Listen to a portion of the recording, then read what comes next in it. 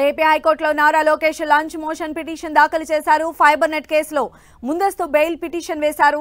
మధ్యాహ్నం ఇది విచారణకు రానుంది. ఇన్నర్ రింగ్ రోడ్ కేసులోనూ లోకేష్ లంచ్ మోషన్ పిటిషన్ వేశారు. సిఐడి ఇచ్చిన ఫార్టీ వన్ ఏ నోటీసులో నిబంధనలపైన అభ్యంతరం వ్యక్తం చేశారు. హెరిటేజ్ బ్యాంక్ లావాదేవీలు తీసుకురావాలన్న సిఐడి రింగ్ రోడ్ కేసులో నాలుగున విచారణకు రావాలని నోటీసులు ఇచ్చింది సిఐడి. ఈ నేపథ్యంలోనే లోకేష్ ఇన్నర్ రింగ్ రోడ్ కేసుకు సంబంధించి కూడా లంచ్ మోషన్ పిటిషన్ దాఖలు చేశారు.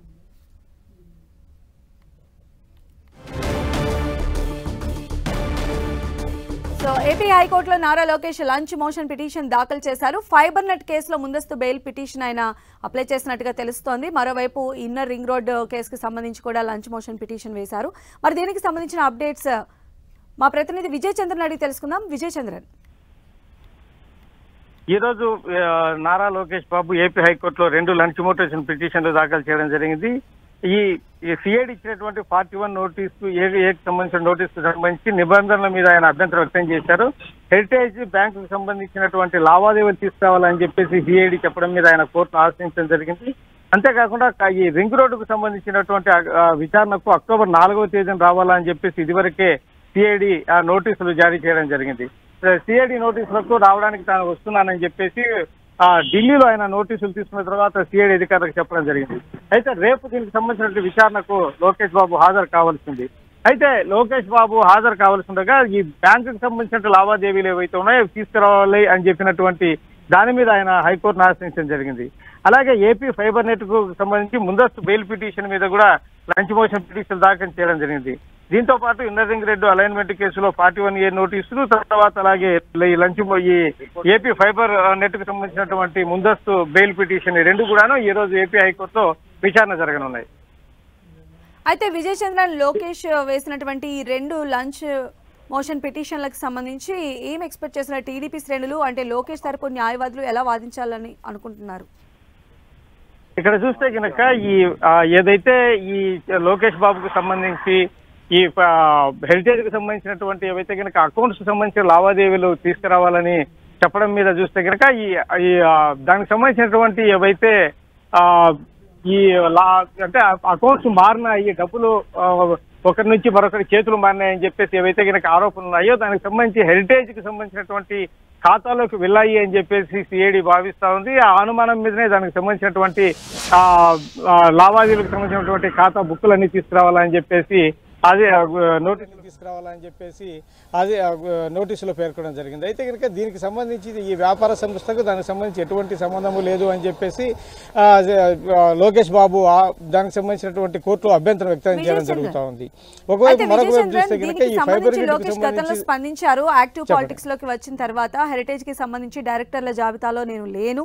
అదేవిధంగా ఏమైనా బోర్డు మీటింగ్స్లో జరిగేటువంటి అప్డేట్స్ మాత్రమే నాకు అందేవి. అలాంటి మెయిన్ వాటిలోనే పార్టిసిపేట్ చేసేవాడిని అని చెప్పి చెప్తూ ఉన్నారు.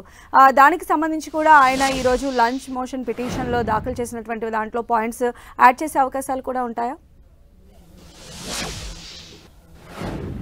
ఖచ్చితంగా. ఎందుకంటే మీరు చెప్పినట్టుగా లోకేష్ బాబు యాక్టివ్ పాలిటిక్స్లోకి వచ్చిన తర్వాత ఈ హెరిటేజ్ సంబంధించిన వ్యాపారాలకు దూరంగా ఉన్నాడని చెప్పొచ్చు. ఎందుకంటే దానికి సంబంధించి వ్యాపార వ్యవహారాలైనా కూడా వాళ్ళ తల్లి తర్వాత ఆయన భార్య వీరిద్దరూ దానికి సంబంధించినటువంటి వ్యాపార వ్యవహారాలన్నీ చూ చూడడం జరుగుతూ ఉంది. కాబట్టి తనకు సంబంధం లేదు. తన తల్లి తన భార్య మాత్రమే ఆ వ్యాపారాలు సంబంధించినటువంటి వ్యవహారాలు చూస్తున్నారు కాబట్టి నాకు ఈ దీనికి సంబంధించినటువంటి వ్యవహారాలకు ఎటువంటి సంబంధం లేదు. ఏదైనా అకౌంట్స్ ఉంటే కనుక చూసేదే తప్ప దాంట్లో ఏమాత్రం కల్పించుకోవడం లేదు. అంత టైం కూడా తనకు యాక్టివ్ పాలిటిక్స్లో ఉన్నందువలన లేదు అని చెప్పేసి లోకేష్ బాబు చెప్పడం జరుగుతూ ఉంది. ఇదే అంశాన్ని కోర్టులో చెప్పే అవకాశం ఉంది. అయితే కనుక వీరు ఒకవైపు చూస్తే కనుక తల్లి మరొక వైపు చూస్తే భార్య కాబట్టి వీరందరూ కుటుంబ సభ్యులే కాబట్టి ఈ లావాదేవీలకు సంబంధించిన వ్యవహారాలు ఏవైతే ఉన్నాయో ఈ చేతులు మారిన వ్యవహారము ఈ మీ కుటుంబ సభ్యులే కాబట్టి ఈ హెరిటేజ్లోనికి మారే అవకాశం ఉంటుంది అని చెప్పేసి సిఐడి తరఫు న్యాయవాదులు కూడా వాదించే అవకాశం ఉంది.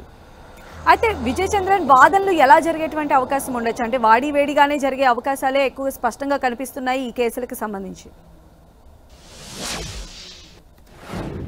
ఖచ్చితంగా. ఎందుకంటే కనుక ఇప్పటికే నారా చంద్రబాబు నాయుడును అరెస్ట్ చేసి లోపల వేయడం జరిగింది. రేపు ఈ సిఐడి విచారణకు హాజరైతే కనుక లోకేష్ బాబును కూడా అరెస్ట్ చేసే అవకాశాలే ఎక్కువగా ఉన్నాయి. ఎందుకంటే దానికి సంబంధించినట్టు విచారణకు హాజరైన తర్వాత ఆయన కోర్టులో ప్రొడ్యూస్ చేసి రిమాండ్కు పంపే అవకాశం ఉంది. అంతేకాకుండా ఈ జ్యుడిషియల్ కస్టడీకి కూడా సిఐడి అధికారులు అడిగే అవకాశం ఉంది. ఈ నేపథ్యంలో ముందస్తు జాగ్రత్తగా నారా లోకేష్ బాబు నోటీసులు తీసుకున్న తర్వాత తన న్యాయ నిపుణులతో పార్టీకి సంబంధించిన పెద్దలు వీరందరితో సంప్రదించిన తర్వాత ఈ లోపలికి ఒకసారి వెళితే గనక బెయిల్ రావడం అనేది చాలా కష్టంగా ఉంటుంది కాబట్టి ఎందుకంటే ఇప్పటికే చంద్రబాబు నాయుడుకు సంబంధించి వ్యవహారం చూస్తే గనక ఇప్పటికే ట్వంటీ ఫైవ్ డేస్ దాకా అయింది. ఆయన బయటకు వచ్చే పరిస్థితి ఉందా అనేది కొంచెం అయితే కనుక ఇబ్బందికరంగానే ఉన్నటువంటి పరిస్థితులు అయితే కనుక మనకు స్పష్టంగా కనపడుతున్నాయి ఈ నేపథ్యంలో నారా లోకేష్ బాబు కూడా లోనికి వెళ్తే గనక పార్టీని నడిపేటువంటి నాయకత్వం ఒక లోపం అయితే గనక స్పష్టంగా కనపడుతుంది.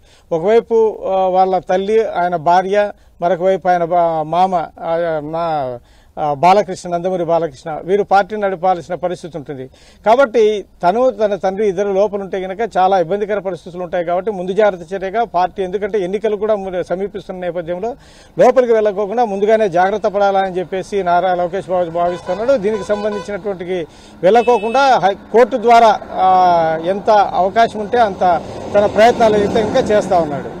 అయితే విజయ్ చంద్రన్ ఒకవేళ ఇప్పుడు కోర్టు తీర్పు కనుక ఏసీబీకి ఫర్గా వస్తే తదనంతర పరిణామాలు ఎలా ఉండొచ్చు? ఒకవేళ లోకేష్ కానీ మరోవైపు నారాయణ కూడా దీనికి సంబంధించి లంచ్ మోషన్ దాఖలు చేశారు కాబట్టి వీళ్ళ వైపు ఫర్గా వస్తే ఎలాంటి పరిణామాలు ఉండొచ్చు? నారాయణ కూడా తన ఆరోగ్య రీత్యా సిఐడి విచారణకు రాలేను. కొద్ది రోజులు టైం కావాలా అని ఒక నాలుగైదు రోజులు టైం కావాలా అని చెప్పేసి నారాయణ కూడా లంచ్ మోషన్ పిటిషన్లో పేర్కొనడం జరిగింది. దానికి సంబంధించిన విచారణ కూడా ఈ రోజు మధ్యాహ్నం జరగనుంది. దీనికి సంబంధించి చూస్తే కనుక ఈరోజు సాయంత్రంలోగా దీని ఈ పిటిషన్లకు సంబంధించి అంతేకాకుండా నారా చంద్రబాబు నాయుడుకు సంబంధించినటువంటి బెయిల్ పిటిషన్ ఇవన్నీ కూడాను ఈ రోజు సాయంత్రంలోగా విచారణ జరుగుతాయి. అయితే కనుక ఈ నారా చంద్రబాబు నాయుడుకు సంబంధించినటువంటి ఇన్నర్ రింగ్ రోడ్లో ఏదైతే కనుక బెయిల్ పిటిషన్ ఉందో ఆ బెయిల్ పిటిషన్ సిఐడి అధికారులకు సంబంధించిన అడ్వకేట్లు అందుబాటులో లేనందున అది వాయిదా అంటే సారీ దా- అది వాయిదా పడే అవకాశం ఉందని చెప్పేసి భావిస్తూ ఉన్నారు. నారాయణకు సంబంధించినటువంటి వ్యవహారం కూడా ఈరోజు విచారణలో జరగనుంది. ఈ అయితే ఈ ముఖ్యమైనటువంటి కేసులన్నీ కూడాను ఈ రోజు ఏపీ హైకోర్టులో జరగనున్నాయి. Okay right. విజయ్ చంద్రన్